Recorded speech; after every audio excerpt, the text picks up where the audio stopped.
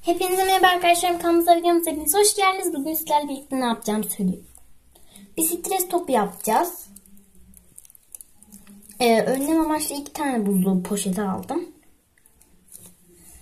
Ee, içine ilk önce biraz tıraş köpüğü dolduralım. Bir tanesini.